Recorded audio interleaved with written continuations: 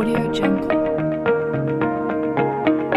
தமிழ்நாட்டில் இயற்கையான உயர் பின்னணி கதிர்வீச்சு பகுதியிலிருந்து அரிதான பூமிக்கூறுகள் தமிழ்நாட்டில் தெற்கு பகுதியில் உள்ள கன்னியாகுமரி கடலோர பகுதியில் கடற்கரை லேசர் வைப்புகளில் மோனோசைட் ஏராளமாக இருப்பதால் இந்தியாவில் நன்கறியப்பட்ட இயற்கை உயர் பின்னணி கதிர்வீச்சு பகுதி என அழைக்கப்படுகிறது தற்போதைய ஆய்வில் இந்த மோனோசைட் மணல்களில் புவியியல் பண்புகளை புரிந்து கொள்ள முக்கிய ஆக்சைடுகள் அரிய பூமிக்கூறுகள் டிஹெச் மற்றும் யூ ஆகியவற்றின் செறிவுகள் அளவிடப்படுகிறது சுற்றுப்புற டோஸ் விதத்தின் அடிப்படையில் கரையோரத்தில் சுமார் அறுபது கிலோமீட்டர் பரப்பளவில் இருபத்தி மூணு இடங்கள் மாதிரி சேகரிப்புக்கு தேர்ந்தெடுக்கப்படுகிறது.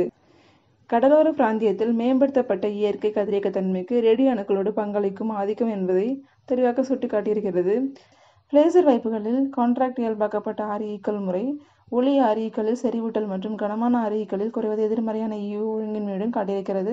இது மோனோசைட் மணல்களை கிரானைட் சர்க்கோனைட் மற்றும் கிரா கிரானியாய்டு பாறைகளிலிருந்து நாகர்கோவில் மற்றும் தெற்கின் திருவனந்தபுரம் தொகுதியிலிருந்து பெறப்பட்டதாக குறிப்பிடப்படுகிறது.